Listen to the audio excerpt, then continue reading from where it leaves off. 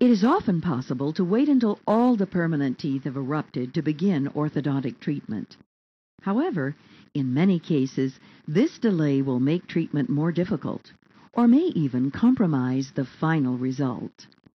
In these circumstances, two-phase orthodontic treatment is utilized to obtain the best result. To take greater advantage of growth, a first phase of treatment is carried out at a younger age, when baby teeth are still present. During this initial phase, growth modification procedures are attempted to correct the more difficult structural and functional problems. However, since the permanent teeth have yet to erupt, the final result cannot be produced.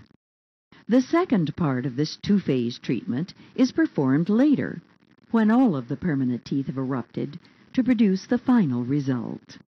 Let's take a look at one example of a two-phase orthodontic treatment, where the upper jaw has not grown sufficiently in width.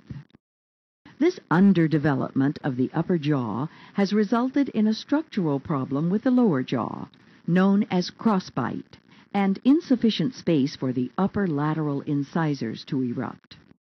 To correct this underdevelopment, the first phase of treatment involves growth modification procedures to promote the widening of the upper jaw and correction of the crossbite. This Phase 1 treatment, or early growth modification, makes the total treatment easier, the teeth more stable, and often eliminates the need for permanent tooth removal. However, at the completion of this Phase 1 treatment, baby teeth are still present.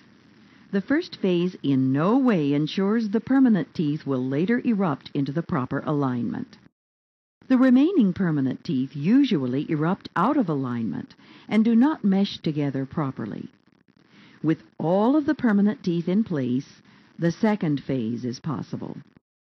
During this second phase of treatment, full braces consisting of bands, brackets, and arch wires are placed.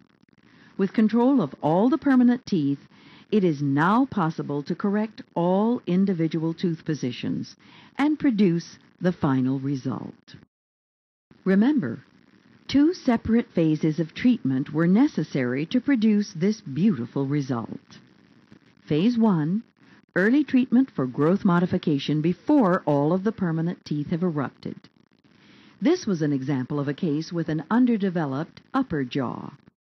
However, there are many other growth problems requiring an early first phase.